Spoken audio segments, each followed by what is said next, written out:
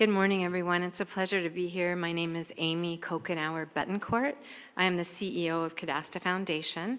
We are a nonprofit organization working globally to advance land and resource rights.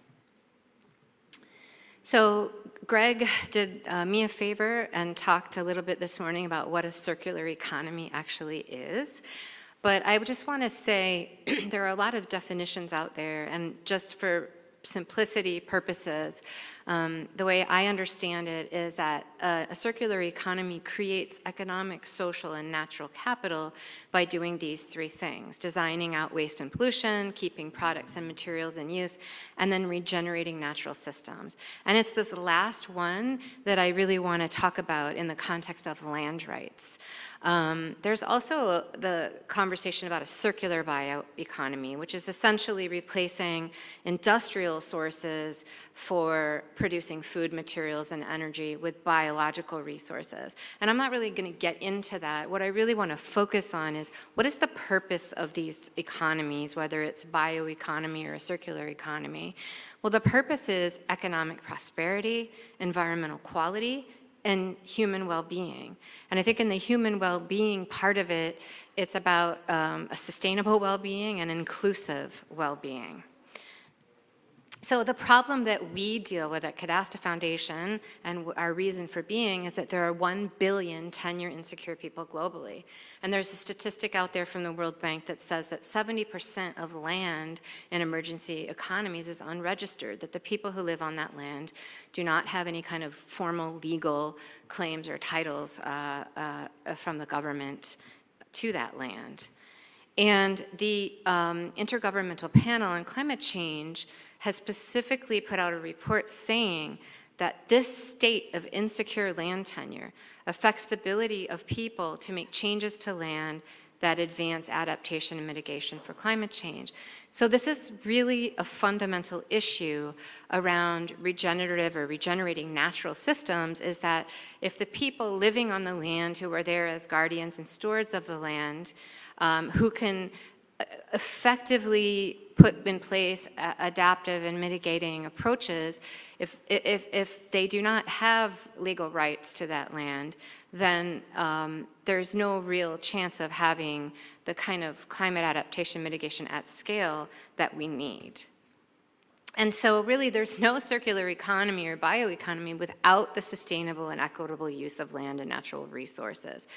And there's a real disconnect then between the idea of regenerative natural systems and the fact that land and resource rights are not, are not secure for the, for the majority of people and, and land in emerging economies. So really, we find ourselves in a global land crisis. We see growing evictions and displacement, deforestation, pollution, land grabs, um, obviously, loss of habitat and biodiversity, but also livelihoods, history, and culture, particularly within indigenous lands and communities.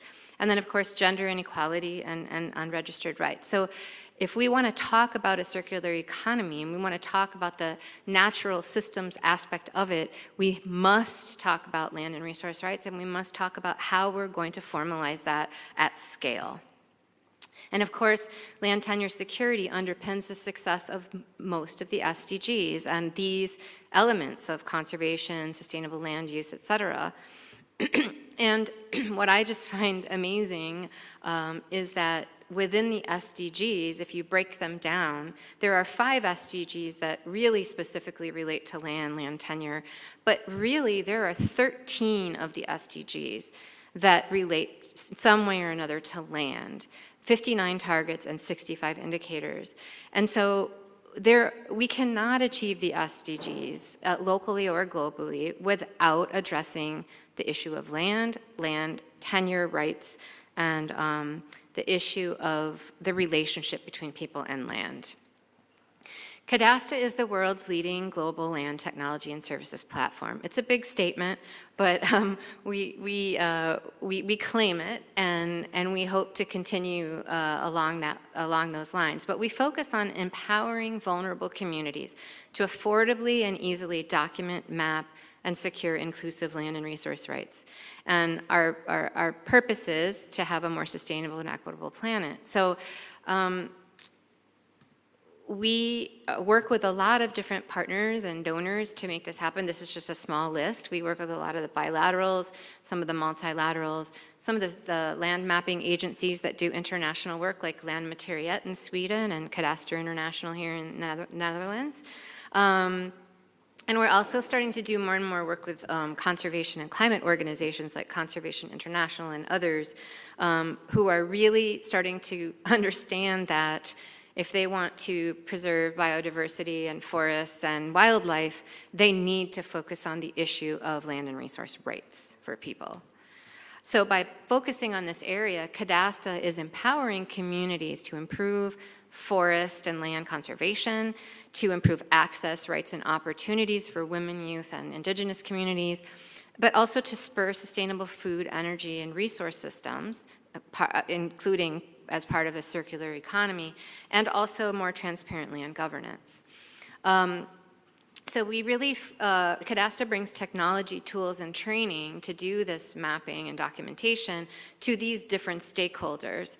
Um, and we really focus on the idea of local empowerment, empowering local organizations, NGOs, communities, indigenous groups, et cetera, as well as local governments to uh, map and document uh, both individual and community rights, and to use that information and use that data to not only advance tenure, but also to solve other problems in their communities. We work in cities, farms, and forests. Um, and our cross-cutting areas are women's empowerment and equality, climate sustainability, and youth development.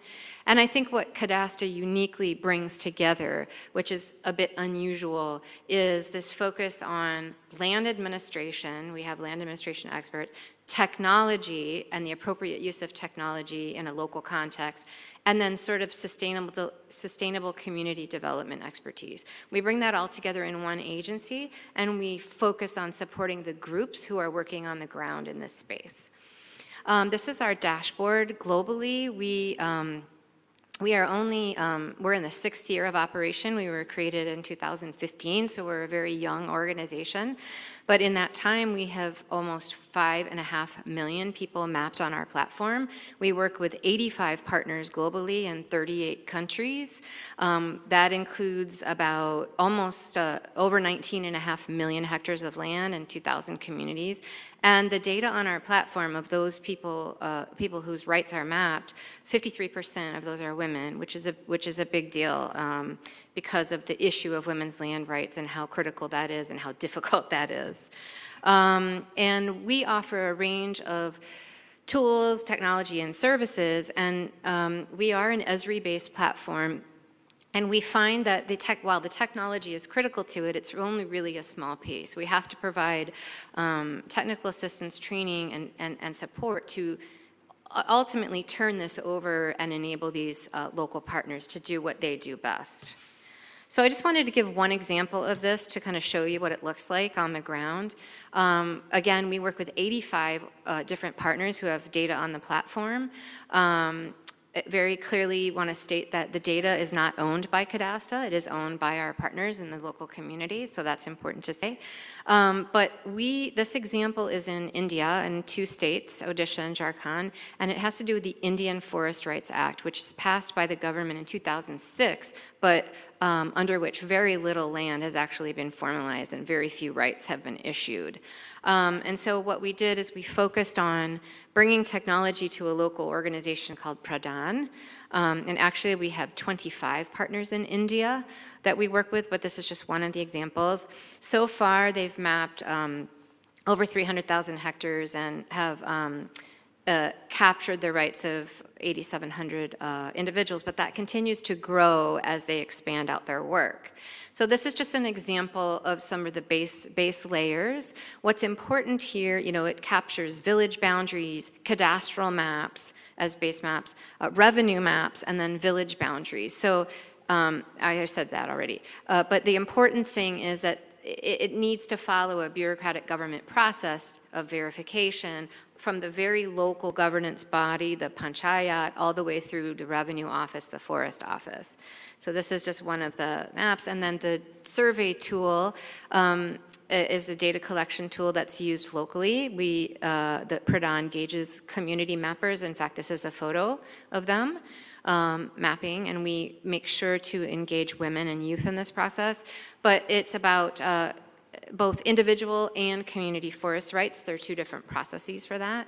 Um, this shows a, a, stage, different stages of mapping. It lists the district, the village, which is the panchayat, which is the government body, as well as the in, uh, information on the claimant, and then, the, of course, the geospatial information. Uh, PRADAN has used this data to put out these individual forest rights maps for the first time. They've never had these kind of this kind of data collection or this kind of um, mapping and, and outputs done before, uh, as well as community forest resources. And then this is their dashboard, and you can see on here gender ownership, uh, total parcels, total individuals, total hectares, land use types, what type is it, you know, cultivation, homestead, et cetera, uh, percentage of revenue to non-revenue forest, and then other, other types of information. This is just one of the screens.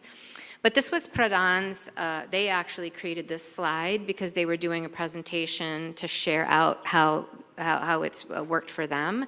And this is what they said, that it's easy to understand by community users, and I'm talking about community mappers. Um, both, there's both on and offline data collection, which is important.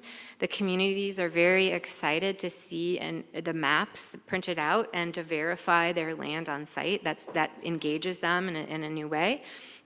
And it also supports the M&E and, and, and reporting out through dashboards and is easy and transparent uh, and effective for, cost effective to replicate.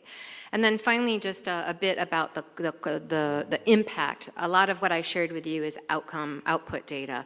Um, but we did an, a third party evaluation of this work, and I'll just want to point out two, two things that came out. One was on the perception of tenure security, which is an important indicator around behaviors around conservation, investment in lands, soil, and all of that. Before mapping, 75% of the community landowners were very worried or slightly worried about losing their property. After the process, after documentation, 74% of the uh, respondents report that their worry has decreased. So we're seeing that impact in terms of community uh, perception. And then finally, the quality of life, 83% of respondents at the beginning report, uh, or at the end, reported an improved quality of life due to this, to Cadasta and this project. And of course, PRADAN was very much a part of that. And then the data collector piece on the, on the right-hand corner is um, we had two separate evaluations, one with landowners and one with data collectors, and, the, and 95% of the data collectors reported not having access to a good alternative to Cadasta's platform, suggesting that we're filling a very large market gap. And indeed, um, we are starting now to see all of the partners that we're working with in India, where people are starting to claim and get these, these forest rights uh, for the first time. And um, that has go is going to have significant impact on livelihoods and conservation. And again, going back to um, the circular economy then, that this geospatial technology has a very marked um, uh, impact on the ability to secure land rights in the context in which we work globally, which is critical for regenerative natural resources, which is part and foundation of, of, a, of a sustainable circular economy and leads to these things that we want it to, which is prosperity, environmental quality, and uh, human well-being. So my final bit here is a bit of an appeal uh, to the room, which is we have an incredibly ambitious vision for 2040, which some may say is audacious and a little bit crazy. But, you know, hey, we're putting it out there that we want to catalyze land systems change globally, leading to inclusive land and resource rights for half of these 1 billion tenure insecure people. So in order to do that, we need to come together with a lot of different partners and networks uh, for funding, expertise, communications channels, influence, and partnerships. And so this is an appeal uh, to all of you to try to join us in, in, in this endeavor globally to map 500 million people and secure their rights uh, globally. So please join us and please get in touch with me to have that conversation. Thank you. I appreciate it.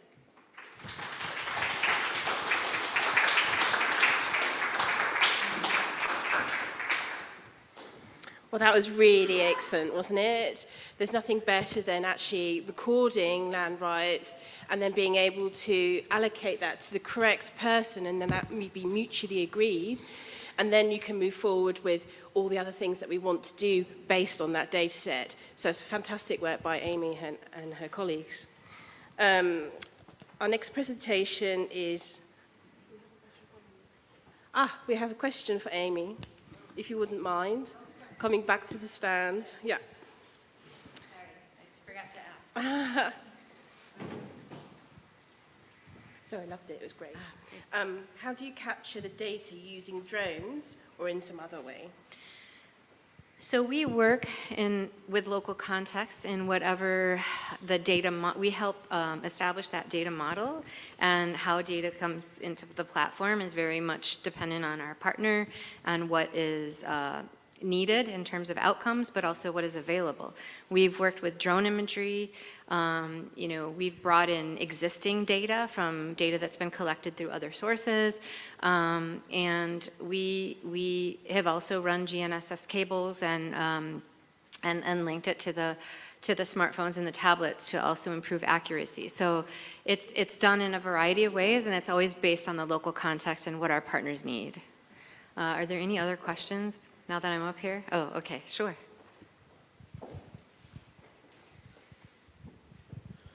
Hello, thank you very much for your presentation. It was really enlightening and also encouraging for grassroots communities to, to build up together on, on, on this endeavor to, to find, you know, certain circularity in the economy. And my question is exactly about that. How do you find a circular economy in the fact that you start by registering something that will be otherwise very expensive to do because of the many investments from the government and probably the slack and stuff like that.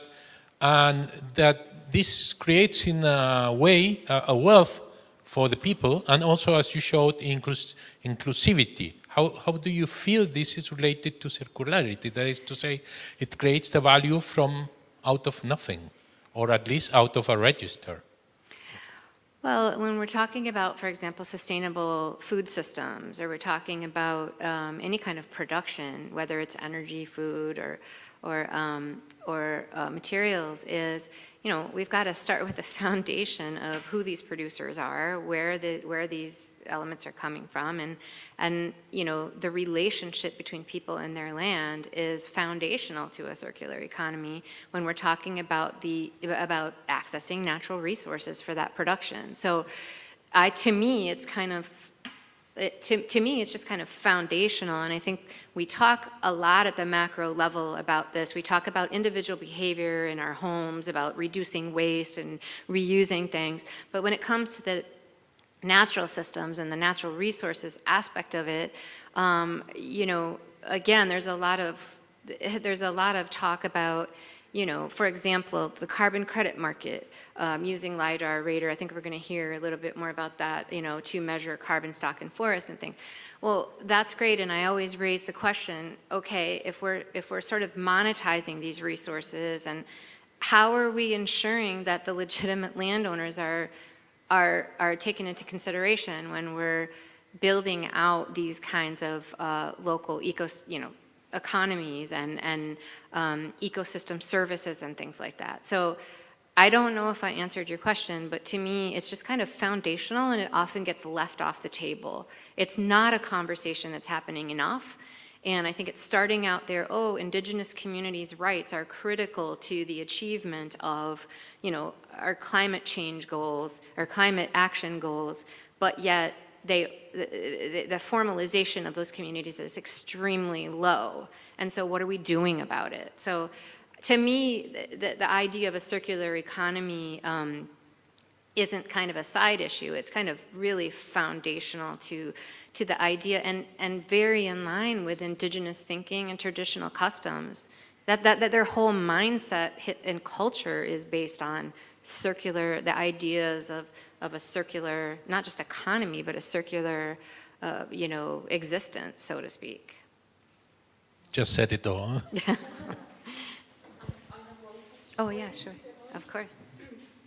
So um, I would be interested to see, uh, hear your opinion on uh, when you have gone to do cadastra in certain in places where it is then become um, uh, clear that it is common ground or mutual ground or belongs to a tribe rather than one or two people or a family. Yeah. So there's this big debate out there about individual versus communal community rights. And, and we, you know, Cadasta is an honest broker, if you will, in the sense that we don't ever try to adjudicate that. What we're doing is trying to support processes on the ground that are already underway that are being led by local stakeholders. So in the case of this India project I mentioned, there's both an individual forest right piece and a commu- community forest right. That's a that's codified in the law. There are processes and systems. We're simply supporting that process. But in general, I think that um, it really depends on what the objective of the project is, who and and um, who the stakeholders are, and what they're trying to get to. And we um, we support all of that, right? We support all of that, and um, don't try to take a stance on whether it should be one or the other, because there are benefit there are uh, pros and cons to both of that. But I think the key is that communities not be disenfranchised, whether they're communities as a whole or whether they are indi- individuals. I'll say one more thing. Even if there's legal demarcation or delimitation of community land that has actually been recognized by the government, what we're finding is inside that space, communities need tools. They need their own data. They need to manage and collect and, and use their own data for their own purposes inside the, the community land. So there's, there's also an application of this even when the community land has been recognized. There's a lot of need for data around forest uh, rights management, uh, natural resources management, and other things that communities are doing inside their land. So, thank you.